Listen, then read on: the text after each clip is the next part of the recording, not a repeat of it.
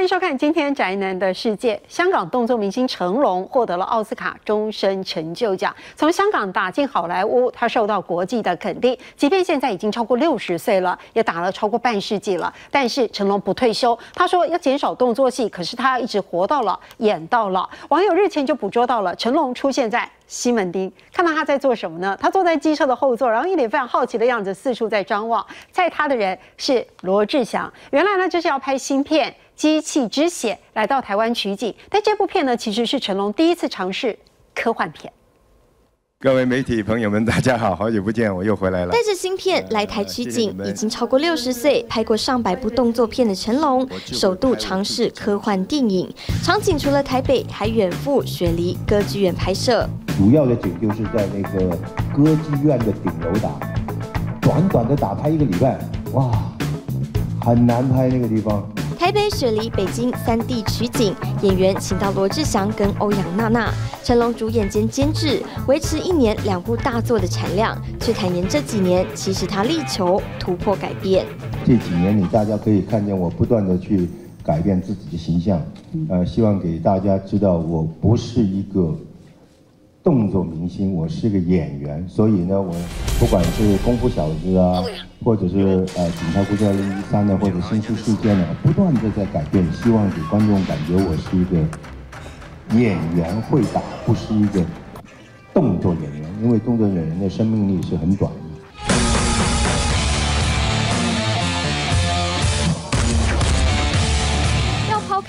作明星的称号，让观众看到更多演技。二零一六年到一七年接连四部电影，每部都看得到成龙不同的表现，但观众看不到的是幕后成龙绞尽脑汁设计动作。当然，我也有颓丧的时候，你们看不见。当我在片场颓丧想不出东西的时候，一个人就坐在那边。我给你反应，等会儿。当我一想通了，啊，你叫我走我就不走，因为马上要把它拍完，它哒哒哒哒哒哒哒哒哒，就觉得很有优越感，很开心。坚持亲自想招式，对于功夫片的热爱没变过。现在我拍这个方式就是尽量用少威亚、少略布景，真的给你看见成龙师的动作，尽量给他们看到。深厚的功夫底子要从成龙的童年开始说起。六岁开始跟着于占元习武，加入七小福戏班，取艺名元楼，成为袁家班一员。在大小黄霸天中，跟艺名元龙的洪金宝等童星一同演出。后来因李小龙风潮，改艺名成龙，直到这部电影大开知名度。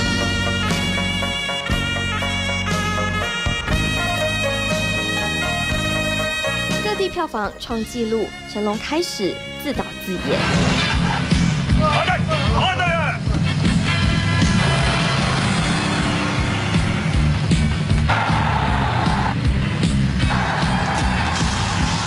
一九八五年，凭着《警察故事》获得香港金像奖最佳故事片。一九九二年，《警察故事三》一举暴走金马，奠定《警察故事》系列电影的经典地位。九三年，再以重案组连庄影帝。怪不得人说你有毛病呢，你毛病大。你爱怎么说就怎么说吧，这是我做人的宗旨。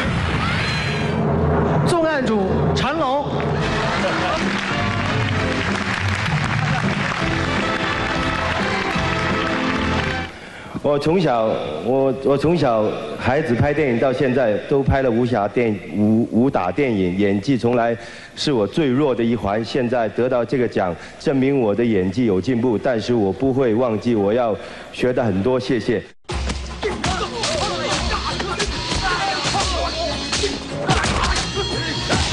镀金后，成龙在凭着这部《红番区》打进好莱坞，进而接下电影《尖峰时刻》，全球票房开红盘，一连拍了三集，总计《尖峰时刻》系列全球票房累积八亿三千五百万美元，换算新台币有两百六十七亿。Come upstairs, cop. I'll give you what you want. Today, my boy becomes a man.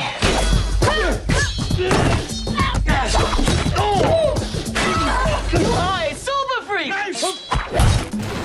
进好莱坞之后，一连拍了好几部卖座武打。Mr. Devlin.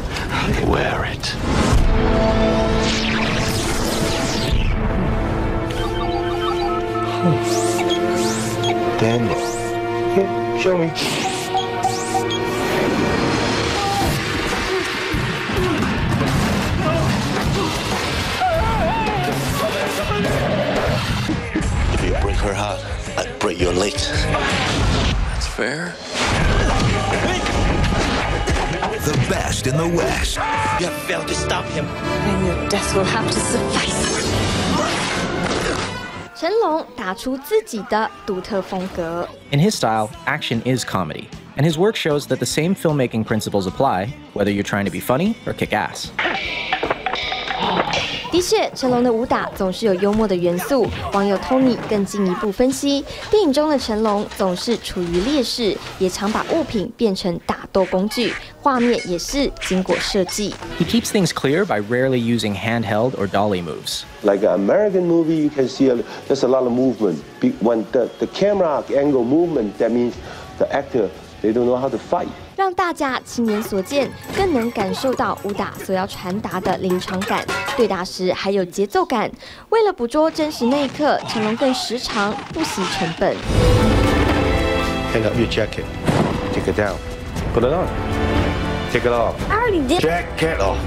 二零一零年跟威尔史密斯儿子杰登合作，二零一一年之后，成龙的电影事业明显回到大陆发展，还成为政协委员，一度在会议上拍桌，引发关注。政府也很开通的，让我们去讲真话，讲实话，千万不能做讲假话，这是令到我非常开心的。所以，我就可以讲到拍台子。为了树立文人形象，成龙戴起了粗框眼镜，说明他不止在大陆拍片，也参与政治，深耕大陆市场。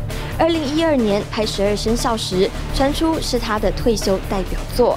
成龙否认，澄清他的意思是不用再证明自己会打，会减少动作部分，但电影还是要一直拍到老，重心更多放在角色上。我现在是希望突破，不希望老是成龙式的电影，我希望会变。除了十二生肖啊，成龙式的，其他的我就希望去。他刚刚要把我两个两边头发剪剪短，要染的话，我还在怀疑。嗯，后来出来那个片呢，哎还不错，而且还有些人讲，哎呀，反而年轻了啊，真的。对，我要相信人，不然的话，老是长头发那个长光那那那那片。听得出来，习惯主导拍片的成龙渐渐学着放手，性格也似乎从刚硬的大哥变得柔和许多。对于演艺事业的期待是活到老，演到老，持续尝试创新，扭转大家对成龙两个字的刻板印象。其实很多以前喜欢成龙的人都喜欢在他电影最后去看他那个真实拍摄的那一些花絮，觉得我真是厉害。在成龙之后，当然还有很多武打明星，一直不能够漏掉的就是甄子丹了。他也是武行出身的，十九岁在武术指导袁和平的栽培之下，拍了他自己第一部的功夫电影。入行一算也三十三年了，拍了七十部电影了。甄子丹是因为叶问这个角色让他爆红，然后成为一个武打明星的代名词。现在传出片酬六亿元。一代宗师叶问开创甄子丹演艺事业第二春，更让他被封为宇宙最强，片酬传出高达六亿台币。对我来说，拍动作片已经不是难与不难的问题，每一步都是很难，因为难度不是在于跟谁打，还或者是设计有多复杂，就是我本身也好，啊、这这一次跟那个袁和平导演也好，叶伟信导演也好，我们大家都希望就是每一次都有突破。母亲是知名武术家麦宝婵，甄子丹从小习武，也受到喜欢音乐的父亲影响，苦练古典钢琴。不把钢琴练好，嗯，他肯定回来就拿了条木棍就敲我的骨头，敲骨头。然后我妈妈呢，如果不练功呢，又来一条木棍、木剑 敲打屁股、打腿啊，打打身上的。那后来就跳了那个武术。追随母亲的脚步，选择武术这条路。甄子丹被送去北京的武术学校受训，和李连杰是同班同学。这段时间，他也爱上功夫电影。啊买买一个半价的票，然后躲在那个戏院里面看一一个下午，然后看完之后就自己做梦的呃把电影里面看到的东西，然后把它再重复一遍再打出来。影响我最大的就是李小龙。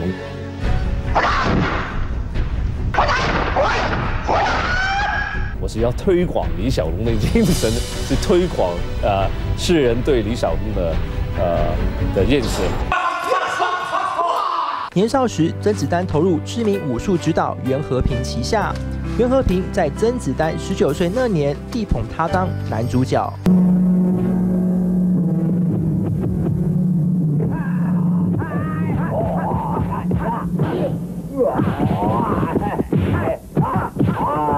新人也不知道电影的语言是怎么样。我还记得很多次，我我师傅说啊，打完之后，他说打完之后，他才告诉我，其实你你在镜头外面，对，我打完就是空打，你已经出镜了，对，出镜，对，白拍了，出镜入镜。我说什么叫出镜入镜？正要起飞的演艺事业，却碰上九零年代香港传统功夫电影没落，甄子丹只好改演电视剧。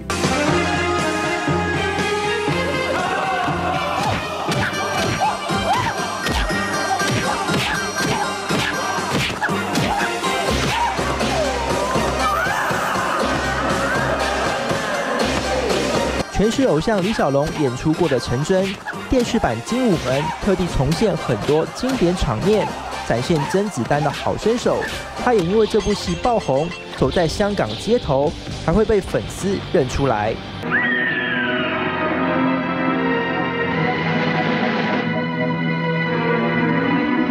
演而优则导，一九九六年自导自演《战狼传说》，这部成本不超过五十万美元的电影上映广受好评，版权还卖到世界各国。甄子丹利落了身手，还成为日本人的新偶像。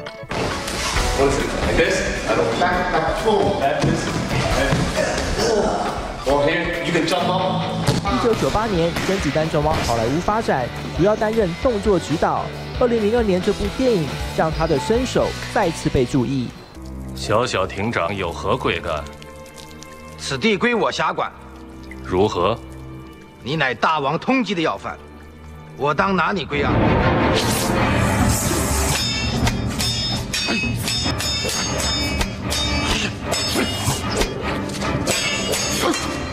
大陆导演张艺谋执导的《英雄》，功夫皇帝李连杰和老同学甄子丹在棋馆这场对手戏，两人一个舞剑，一个使枪，真枪实弹的对决，配合电影的运镜和音效，让人看得目不转睛。演什么就要像什么。随着年纪增长，甄子丹慢慢在戏里加进了家庭的元素。我们塑造了一个人物，他这个人物就是，其实武术对他来说不是最重要，家庭才是最重要。第一集、第二集，一直到今天我们第三集，更加的在这个重点、这个宗旨放在第三集。原来家庭对他的影响可以这么大，令到他完全失去自我，不去做他平时梦寐以求的东西。戏里叶问照顾生病的老婆，一度放弃他最爱的武术。现实生活中，甄子丹也是爱妻好男人。你不要看他真的那么酷，但是，但是他对他对老婆很好的。我们去做宣传的时候，有时候他老婆会也会在，然后全程都是手牵手这样子，搞到我很很羡慕。这股叶问掀起的风潮，不止在戏院。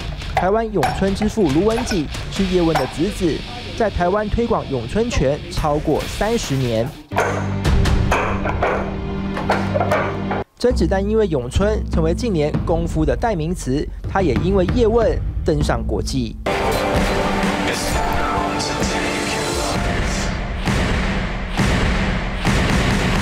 除了接演《卧虎藏龙》续集，他也将成为第一位登上《星际大战》系列电影的华人演员。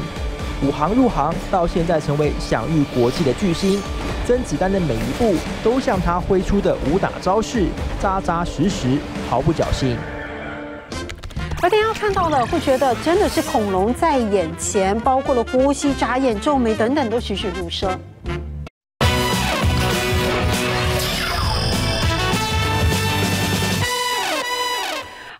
有一间公司哦，把巨型恐龙金刚的模型结合了动画搬上舞台，你会觉得栩栩如生。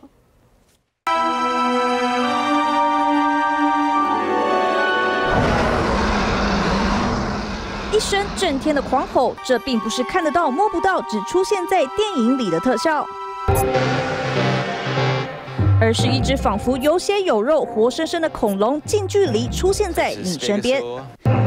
So this is Stegosaur. Stegosaur um, is for our Jurassic World exhibition. This is our T-Rex. She tends to steal the show and dominate the workshop. I keep thinking one of these things is gonna eat me. 从天上飞的、地上爬的，甚至还有能骑乘的，让整间工作室宛如一个侏罗纪世界。但一眼望去后，会发现里头除了珍奇猛兽，还暗藏几只少女心。例如这只棕色巨熊，是不是看上去有点眼熟？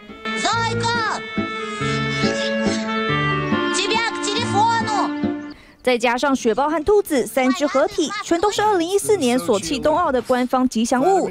俄罗斯总统普京最爱的那一只，你猜到了吗？而以上通通都是由一群特殊特效的专家制作出来的。Under one roof, we have mechanical engineering, we have electronic software. Um, we have digital design, and then we have this very artistic arm. We have sculptors and painters and seamstresses and uh, craftsmen and model makers. So bringing all those together under the one roof is what we do really well. 这间科技公司二零零六年在墨尔本起家，他们所运用的并非日益精进的电脑科技，而是从五零年代就开始发迹的电子动画。It's too bumpy. We'll have to walk from here. 早期包括知名电影《E.T.》和《星际大战》等等，都使用这种技术，制作过程费时又费工。This is the Idominus Rex. Um, at the moment, we're um, skinning the creature, and the girls are putting in some scales. 包括眼睛、骨骼到皮肤，通通得手工制作，从开始到完成得花上一年的时间。So it's very similar to a real creature. It's got bones, it's got muscles, it's got skin. 如今还最新写入了让表情动作看起来更细腻的程式，就是不让观众发现破绽。I'm actually controlling the neck of this Parasaurolophus now. So this is all homegrown, and This is how long all did it take you to homegrown. make that? Yeah, I mean, we built these um, for our first live show 10 years ago. Have your own little pet dinosaur. yeah, it's, it's a lot of fun. 尽管打造一只真的恐龙吃力不讨好，但这群热血专家还是要做，因为电脑特效做不到的事，电子动画做到了，那就是成功让实体恐龙走上舞台表演。二零零七年的《与恐龙共舞》，就是把一整个恐龙家族，共二十多只恐龙搬到观众眼前，堪称是史上气势最磅礴的舞台剧。巡回三年，全球已经有超过五千万人观看，创造二点七亿澳币的票房。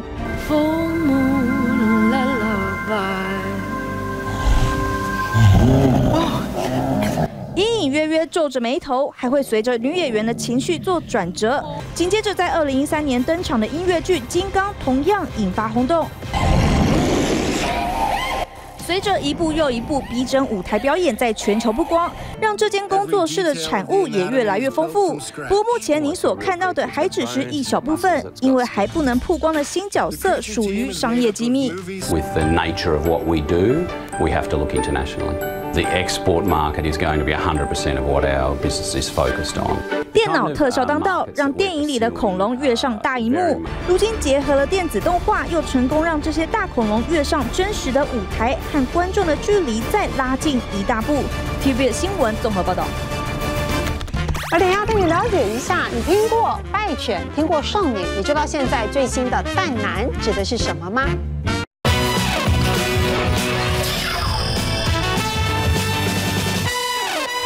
剧出现的名词，其实蛮能结合现在社会的现象，例如拜犬，例如剩女，现在还出现了蛋男。不知不觉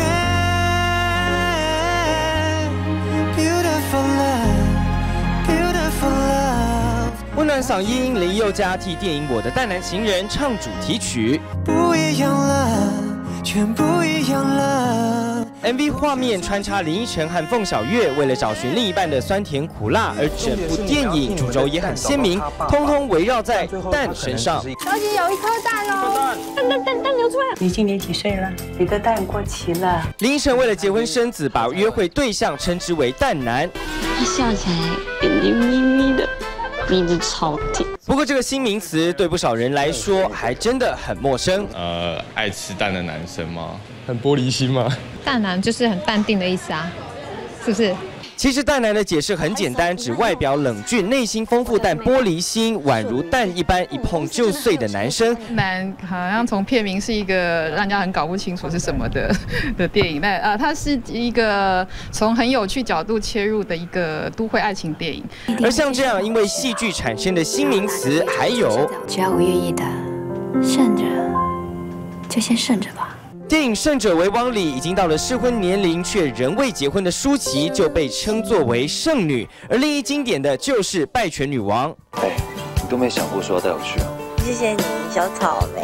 女主角杨锦华年过三十仍没结婚，也被冠上了“败犬”的称号。所谓败犬，泛指已过适婚年龄还是单身的女人。不论名词是褒是贬，放到戏剧里，因为新颖，容易让观众好奇，也成为整出戏的一大卖点。TVB 的新闻和家阳、周玉峰、郑颖祥、林芷慧台北报道。节目最后来看，用跑酷重现电玩游戏当中一些高难度的动作。先收看，再会。